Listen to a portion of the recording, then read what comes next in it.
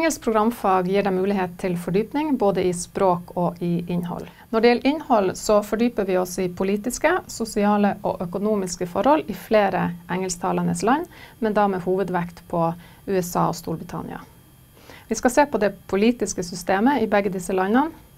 Men for å forstå USA og Storbritannia, så skal vi se på hvordan viktige historiske hendelser og prosesser har ført til at landene er blitt det de er i dag.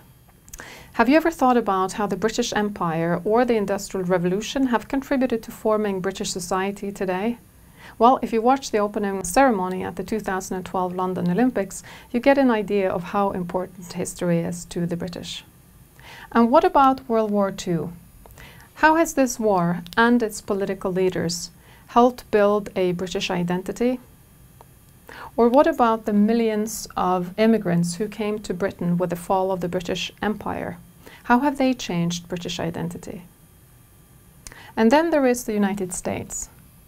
We understand the country and its citizens so much better when we understand the forces behind the American Revolution or the ideas put down in the Declaration of Independence and the Constitution, the latter being a document of monumental importance to the Americans.